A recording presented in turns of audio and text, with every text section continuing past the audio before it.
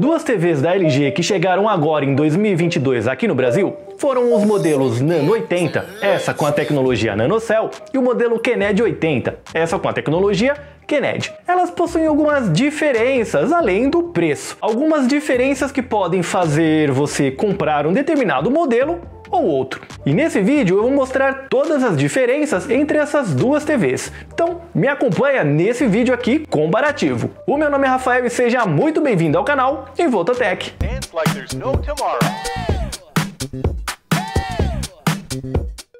E tenho que te lembrar que, se procura preço baixo, é no grupo de descontos do Involtotech no WhatsApp que vai encontrar. Tô deixando o link de acesso na descrição do vídeo e no comentário fixado.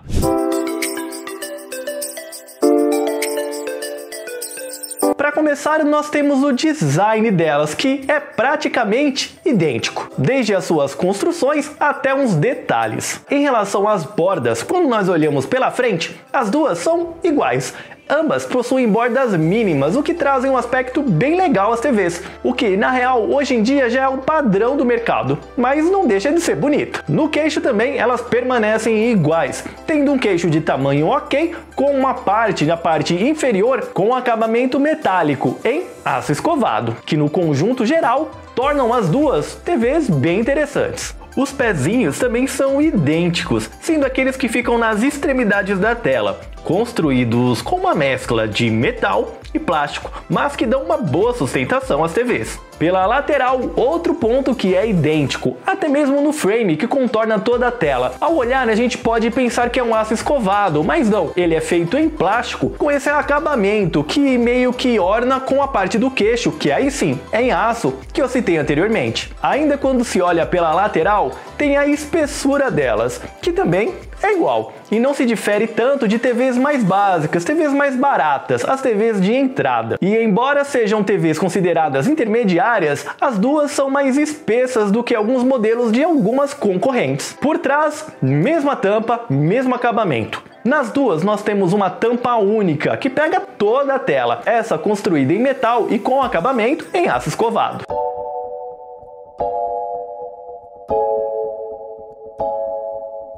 E começamos falando na parte de trás, é lá que estão as conexões dos dois modelos. Bom, nas duas nós temos conexões que ficam na parte lateral e algumas na parte de baixo, o que, ao meu ver, é bem negativo, porque é o pior ponto de acesso em uma TV. Mas ok, passando por isso, em questão de quantidades, elas são iguais, mas tem algumas diferenças nas tecnologias de algumas portas. Tanto a Nano 80 quanto a Kened 80 trazem quatro portas HDMI, além de duas USBs, uma saída de áudio óptico, a entrada para antena e uma entrada para cabo de rede. E claro, as conexões sem fio. Wi-Fi Dual Band, que permite conectar tanto uma quanto a outra em redes de 2.4 e 5 GHz, e o Bluetooth. A diferença que eu citei está nas portas HDMI. Enquanto a Nano 80 traz quatro portas com a tecnologia 2.0, na Kened 80, duas das quatro portas trazem a tecnologia tecnologia 2.1, o que vai influenciar em games, como veremos mais pra frente.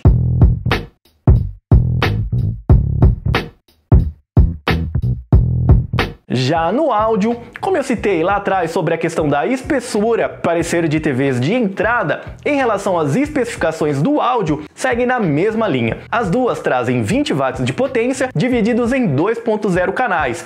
E um recurso que é muito procurado pela galera em geral é o Dolby Atmos, mas que aqui fica de fora dos dois modelos. As TVs trazem 20 watts de potência divididos em 2.0 canais. Nas especificações técnicas, elas são iguais. Já na experiência, há uma pequena diferença. As duas trazem um bom som, bem cristalino e bem alto. Porém, no modelo Kened 80, a experiência é um pouco melhor, pois a TV traz mais graves do que o modelo Nano 80. Nada também que vá fazer muita diferença, mas quando se escuta uma e outra, fica nítido que a Kened 80 traz um pouco mais de grave do que a Nano 80. Em questão de preencher o espaço, as duas mandam muito bem, porém fica ressalva de que a partir do volume ali entre 80 e 85, o som começa a distorcer um pouco. Então essas TVs não são feitas para serem utilizadas no volume máximo, mas que fique claro, já no volume 80 você já tem um baita som, e isso nas duas TVs.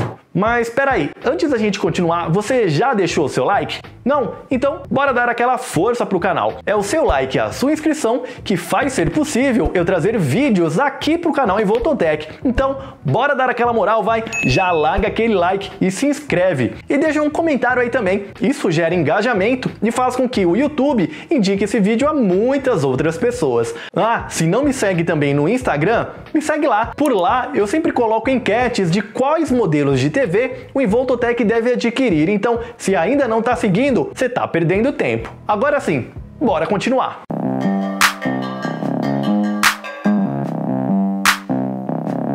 Quando o assunto é sistema, aí elas são idênticas mesmo. Ambas trazem o sistema WebOS, desenvolvido pela própria LG, que é um sistema rápido, fluido e cheio de aplicativos. Então, se você nunca teve contato com uma TV LG antes, fica tranquilo, porque é difícil que você procure algo aqui na loja da LG e não encontre. Embora em ambas ele seja bem rápido, é perceptível que na QNED 80 ele é ligeiramente mais rápido. E isso pode ser atribuído pelo processador da TV, que além de imagem e áudio, está por trás da fluidez dos sistemas. Na Nano 80, nós temos o processador Alpha 5 4K, enquanto na QNED 80 é o Alpha 7, um processador melhor e mais rápido do que o processador que está no modelo NanoCell. E falando em sistemas com foco em games, nós temos algumas coisas iguais e algumas diferentes. Em relação ao que temos de igual, ambas trazem o ALLM e o baixo input lag. O primeiro fazendo com que, assim que inicie um game, a TV automaticamente entre no modo jogo, e o baixo input lag para que a resposta entre apertar o botão e acontecer na tela seja menor. Outro ponto que ambas trazem é o sistema chamado de otimizador de jogos.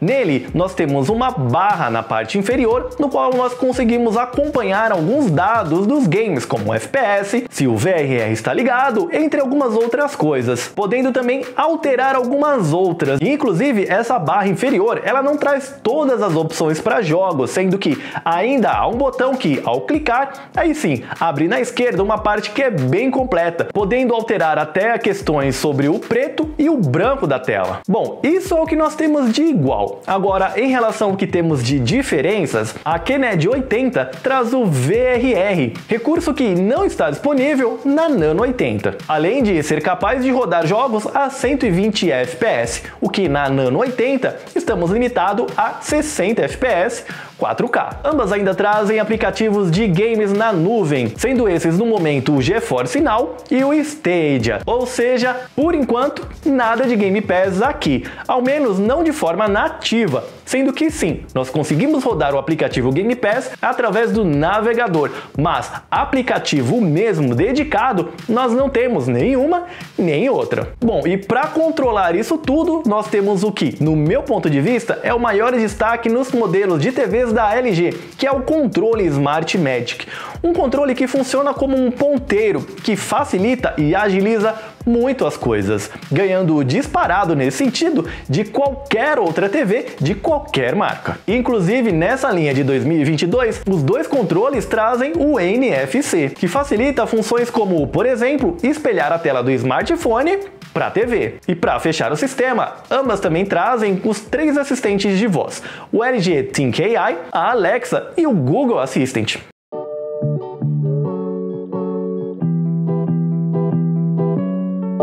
e chegamos na imagem delas. Bom, aqui nós temos alguns pontos que são idênticos e outros que são bem diferentes. Para começar, em tamanhos de tela, a Nano 80 possui 3, 55, 65 e 75 polegadas. Já o modelo QNED 80 traz quatro tamanhos de tela, de 55, 65, 75 e 86 polegadas. Então, caso você queira uma TV realmente grande, a Nano 80 já cai por terra. Teria que ser a QNED 80 mesmo. Agora, um ponto que elas compartilham é a tecnologia empregada no painel, que aqui Em ambas e independente do tamanho da tela, nós temos o IPS. Esse tipo de painel traz como característica melhores cores, além de um melhor ângulo de visão quando comparamos com modelos de tela VA. Então, para você que tem uma sala grande, onde você não vai assistir exatamente ali pela frente, esses modelos podem ser uma boa opção. E de fato, essas características são a da tecnologia IPS e se reflete bem nessas duas TVs. As duas realmente trazem um bom ângulo de visão, praticamente não distorcendo as cores quando olhamos pelo ângulo mais diagonal. Já uma diferença que nós temos nas tecnologias do painel são as tecnologias que dão nome às TVs. A Nano 80 traz o NanoCell, um recurso que tem como objetivo melhorar as cores que já são boas por conta do IPS. E de fato, as cores do modelo Nano 80 são sensacionais, tornando tudo mais real e vívido, saltando realmente aos olhos. Já o modelo Kened 80 traz a tecnologia Kened, que na verdade é a junção de duas tecnologias: o NanoCell, que está presente na Nano 80, e o QLED, que é bem comum da gente ver nas TVs da Samsung. Então, o princípio do Kened é o mesmo do NanoCell, que é trazer cores melhores imagens mais vívidas. E aqui ele também manda muito bem, trazendo uma qualidade acima da média quando nós comparamos com TVs que não têm algum tipo de recurso como esses. E sim, o Kened é um pouco superior à tecnologia NanoCell, mas sinceramente, isso por si só não deveria fazer a TV valer muito mais do que o modelo NanoCell. As cores sim, são melhores, mas nada também que faça muita diferença. Outra questão sobre a Kened 80 é uma dúvida que muitos têm se ela é um painel mini LED ou não. Quando eu adquiri esse modelo de TV, no site estava bem claro que a Kened 80 era sim um modelo mini LED. Inclusive, ao tirar a dúvida via chat no Instagram com o pessoal da LG, me confirmaram que o modelo Kened 80 era sim mini LED. Porém, ao ligá-la, eu percebi que as coisas eram um pouco estranhas e depois de uns dias a informação mini LED foi retirada do site. Quer dizer, foi retirada em parte, né? Eu tô aqui no site da LG e aqui, ó, na parte de fora do quando você acessa as TVs Kened, ainda tem informação, ó. Kened 4K com mini LED. Mas quando você clica aqui, que é aquela parte onde eu tirei o print, aqui já não tem mais, tá vendo? Aqui a informação já foi retirada. E aqui independente do tamanho, 86 e 55, que é esse modelo aqui que eu tenho. Aqui dentro também, ó, não tem mais a informação mini LED. Ou seja, a Kened 80 não, ela não é mini LED. E isso fica muito claro quando nós colocamos uma cena escura nela. Para começar, ambos os modelos do teste foram de 55 polegadas. E quando nós colocamos uma imagem preta, a Kened consegue ser inferior ao modelo NanoCell, trazendo muito, mas muito mais vazamento de luz.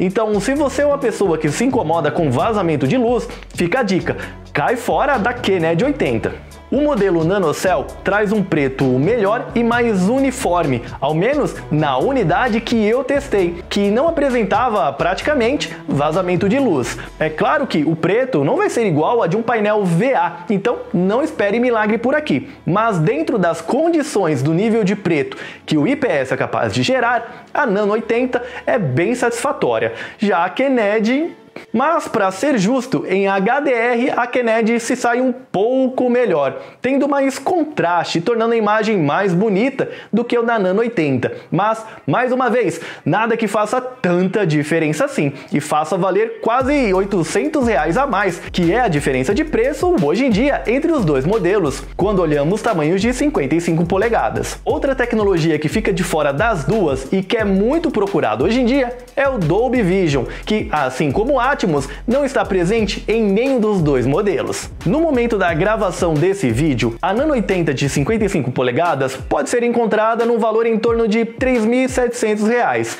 já a Kened 80 no valor em torno de R$ 4.500. Ou seja, é uma baita diferença. E como eu falei, as mudanças são mínimas, sendo a real mudança mesmo nas tecnologias voltadas a games, que é o VRR, que só tem na Kened 80 80, o HDMI 2.1, que também só está presente na Kennedy 80, e a possibilidade de rodar games a 4K a 120 FPS, que também só está presente na Kennedy 80. Mas vamos ser sinceros, né? Se a sua plataforma é o videogame, hoje em dia mal temos jogos que rodem a 60 FPS 4K, quanto mais 120 FPS. Ou seja, no final, ao menos no meu ponto de vista, a Kennedy 80 é uma TV bem pior que a Nano 80, que além de ser praticamente idêntica, salvo essa questão das tecnologias voltadas a games, ainda é mais barata. Então, ao menos para mim, não faz sentido comprar uma Kennedy 80, que consegue ser pior e muito pior num dos pontos mais importantes que nós temos em uma imagem, que é o nível de preto. Bom, mas agora eu quero saber de você. E aí, que, que você achou? Alguma das duas estava na sua lista? Ou você já comprou algum desses modelos? Deixa aqui nos comentários. E se comprou, deixa aqui o seu relato. Eu fico por aqui e até o próximo vídeo. Fui!